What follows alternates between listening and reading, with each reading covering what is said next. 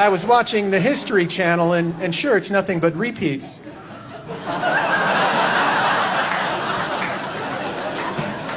But I, I, learned something fascinating about California. It's the most diverse state in the country because uh, 160 years ago there weren't a lot of people living there, and then one guy found one little piece of gold, and then men from every corner of the planet came to strike it rich, and then they were followed by women who follow men who follow money, and that's pretty much how the West was won. First the gold diggers, and then the gold diggers.